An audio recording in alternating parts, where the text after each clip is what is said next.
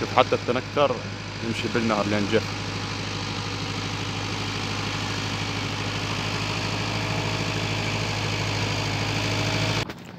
فمثلا هاي الصورة من 2021 نرى أن النهر جاف. وهاي الصورة من 2022 نرى أن النهر بهم مياه. مياه. وهذا دليل على أنه آه، البشر هو جاي يتحكم بمياه النهر يعني لكي لا يحصل جفاف. لكي يحدث هناك توازن في المياه. فمثل ما قلت لكم أن المياه هناك من يتحكم بها. وماكو شيء اسمه جفاف تلقائي. ويعني مثل ما يجف أو يصعد لا هناك من يتحكم بالمياه. وهذا هو أحد أفرع نهر الفرات. مثل ما ترونه كان عبارة عن بحر هذا الفرع يعني ربما أنا أطلت الكلام. ولكن لكي تصل المعلومة بصورة دقيقة. أما الفرع الآخر فهو من هناك. من هذه الجهة. آه، يعني لأنه هو يقتحم حول يقتحم الجزيرة من جهتين. فحتى لو كان نهر الفرات يعني هذا مملوء بالمياه أنت ستذهب المياه أكيد سوف تذهب للبحر ويتم إهدارها.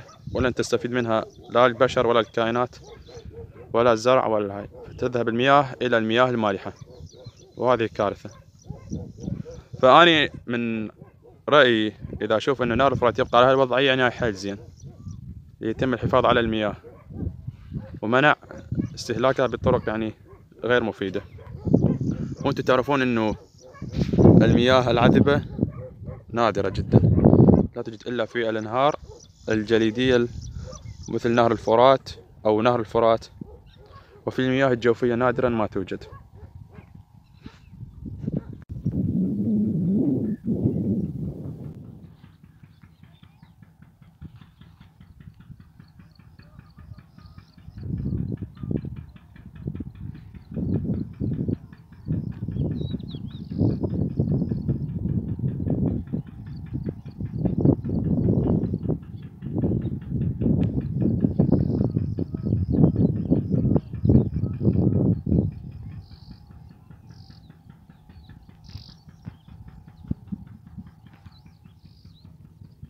يعني هو كل هذا اللي جاي تشوفونه النهر الآن يعني هو مسيطر عليه يعني يمكن, يمكن التحكم به. يمكن بليلة وضحاها يرتفع المنسوب.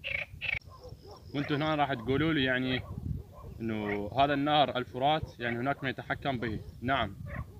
السدود هي من تتحكم به.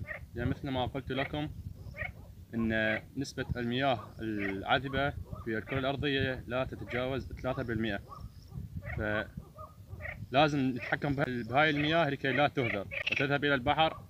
يعني إذا ذهبت إلى البحر لا لا يمكن أن ترجع. وبعدها سنفقد المياه العذبة.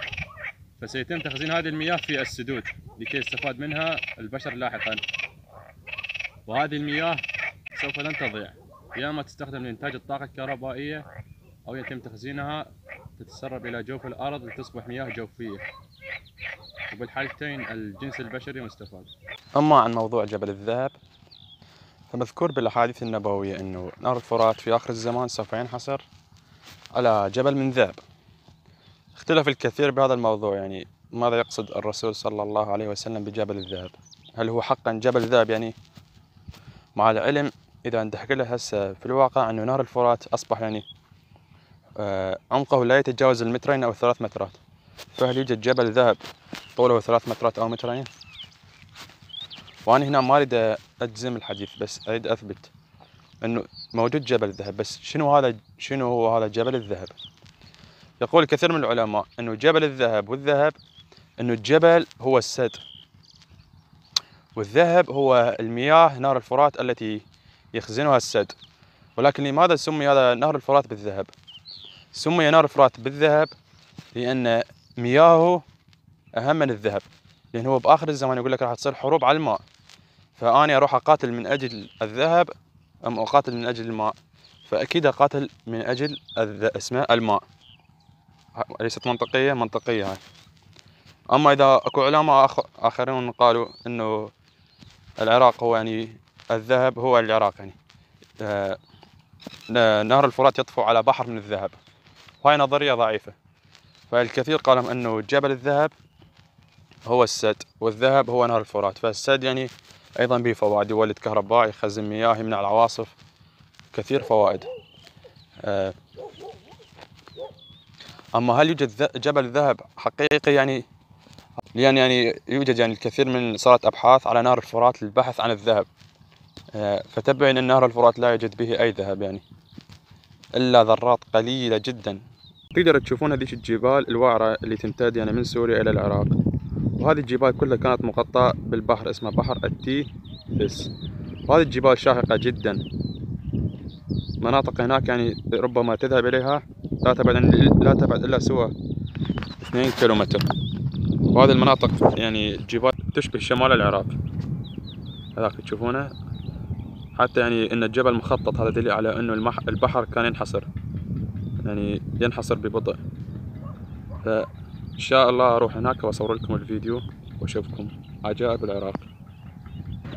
مثل ما تشوفون هذا أحد افرع نهر الفرات واللي هو بالأصل المياه مالته كانت فوقي والآن هو جف ولم يتبقى منه إلا القليل.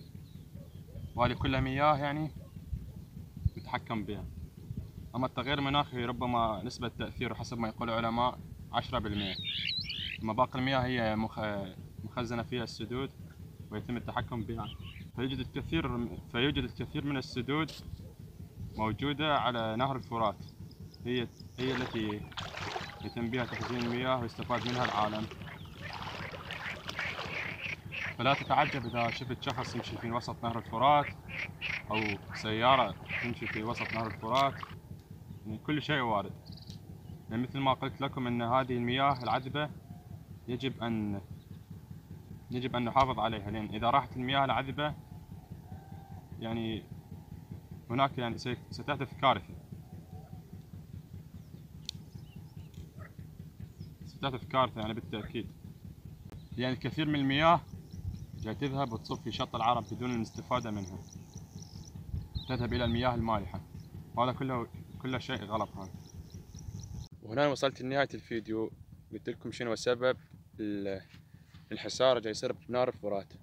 وهو المحافظة على المياه العذبة من الهدر لأن أكو هناك دائما صارت صارت يعني صارت اتفاقات بين العراق لتخفيض نهر الفرات للحفاظ على المياه مثل ما جاي تشوفون.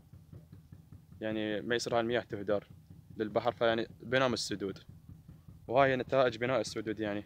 هي أيضا تفيد البشرية مثل ما جاي تشوفون.